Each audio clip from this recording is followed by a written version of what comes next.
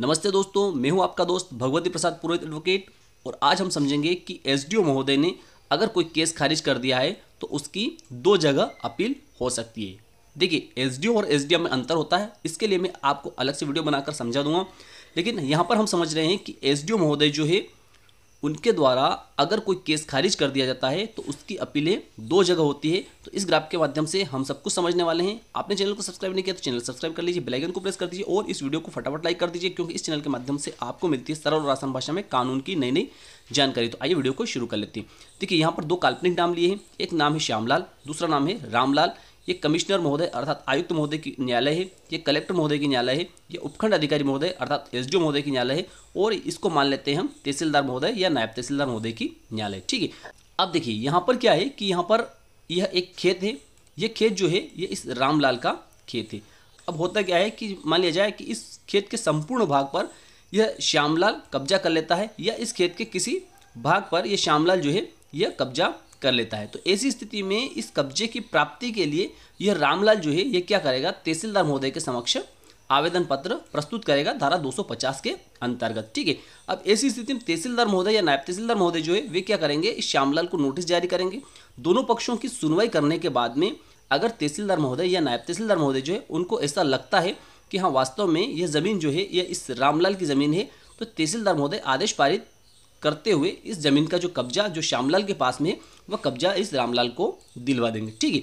अब ऐसी स्थिति में श्यामलाल जो है यह जो तहसीलदार महोदय ने आदेश पारित किया है, उससे दुखी रहता है, उससे व्यथित रहता है तो ऐसी स्थिति में श्यामलाल क्या करेगा? उपखंड अधिकारी महोदय, अर्थात एसडीओ महोदय की न्यायालय में प्रथम अपील पेश कर सकता है, जो कि मध्य प्रदेश भू राज संहिता की धारा चुम्बालीस की उपधारा एक का पेरा नंबर क के तहत यह प्रथम अपील पेश कर सकता है। ठीक है, कहाँ पर? उपखंड अधिकारी महोदय के समक्ष। अब ऐसी स्थिति में क्या होता है, जैसे इस श्यामलाल ने उपखंड अधिकारी महोदय के समक्ष अपील पेश की तो उस अपील का सूचना पत्र इस रामलाल को भी भेजा जाएगा। ठीक है एस महोदय के द्वारा रामलाल को भी उसका सूचना पत्र भेजा जाएगा। दोनों पक्षों की सुनवाई की जाएगी और दोनों पक्षों की सुनवाई करने के बाद में यदि उपखंड अधिकारी महोदय के द्वारा उस अपील को निरस्त कर दिया जाता है या उस अपील को स्वीकार कर दिया जाता है तो ऐसी स्थिति में उस आदेश के खिलाफ, है ना, यहाँ पर हम ये समझ रहे हैं कि जैसे उपखंड अधिकारी महोदय जो है एस महोदय जो है, ये अगर उस केस को खारिज कर देते हैं या स्वीकार कर देते हैं। यहाँ पर हमने खारिज शब्द यूज़ किया है, लेकिन खारिज की स्थिति में भी हो सकता है या उसको स्वीकार करने की स्थिति में भी हो सकता है, ठीक है? तो अगर ये उस अपील को खारिज कर देते हैं तो ऐसी स्थिति में यह श्यामलाल जो है, यह द्वितीय अपील कमिश्नर महोदय के समक्ष पेश कर सकते हैं जो कि मध्य प्रदेश भू राज संहिता की धारा चौवालीस की उपधारा दो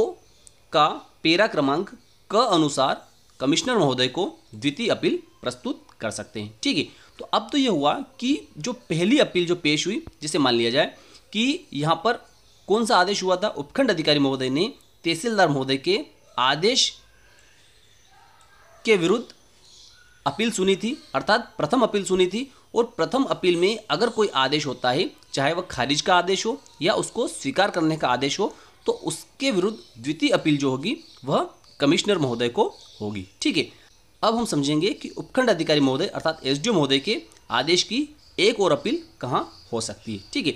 अब देखिए, जैसे मान लिया जाए कि यह रामलाल है और यह ज़मीन जो है, यह इस रामलाल की ज़मीन है, लेकिन त्रुटिवश अर्थात गलती से यह ज़मीन जो है, यह इस श्यामलाल के नाम पर हो जाती है तो ऐसी स्थिति में यह रामलाल जो है, ये क्या करेगा कि मध्य प्रदेश भू राज संहिता की धारा 115 के तहत उपखंड अधिकारी महोदय के समक्ष त्रुटि सुधार हेतु आवेदन पेश करेगा। ठीक है, अब पहले आवेदन कहाँ पेश हुआ था?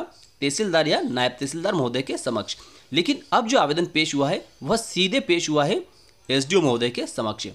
पहले जो आवेदन हमने धारा 250 का बताया था, उस धारा 250 के आवेदन पत्र की सुनवाई करने का जो अधिकार था, वह तहसीलदार महोदय या नायब तहसीलदार महोदय को था। लेकिन यह त्रुटि सुधार का जो आवेदन है, इसकी सुनवाई करने का अधिकार जो है, यह उपखंड अधिकारी महोदय अर्थात एसडी महोदय को है। इसलिए रामलाल ने जो आवेदन पेश किया है त्रुटि सुधार के लिए कि मेरी ज़मीन जो है, इस श्यामलाल के नाम पर हो गई है। इसलिए पुनः वह ज़मीन जो है, मेरे नाम पर की जाए। और इस तरीके से यह उपखंड अधिकारी महोदय के समक्ष आवेदन पेश करता है, धारा 115 मध्य प्रदेश भू संहिता का। तो ऐसी स्थिति में उपखंड अधिकारी महोदय क्या करेंगे कि इस श्यामलाल को भी नोटिस जारी करेंगे और दोनों पक्षों की सुनवाई करने के बाद में अगर उपखंड अधिकारी महोदय जो है यह मान लेते हैं कि हाँ वास्तव में यह ज़मीन जो है यह इस रामलाल की है, इसलिए इस रामलाल की ज़मीन जो है इसको वापस से इस श्यामलाल के नाम पर से इस रामलाल के नाम पर किया जाए सरकारी कागज़ में। ठीक है?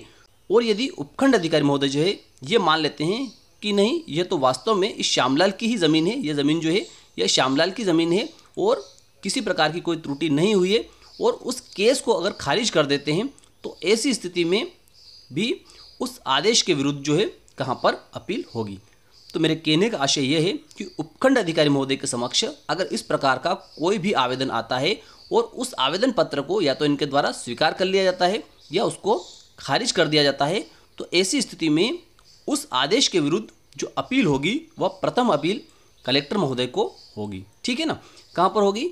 उपखंड अधिकारी महोदय ने जो आदेश पारित किया है, उसकी अपील जो होगी, वह कलेक्टर महोदय को होगी और वह अपील जो पेश होगी, वह मध्य प्रदेश भू राज संहिता की धारा चौवालीस की उपधारा एक का पेरा ग के अनुसार कलेक्टर महोदय को प्रथम अपील होगी। ठीक है?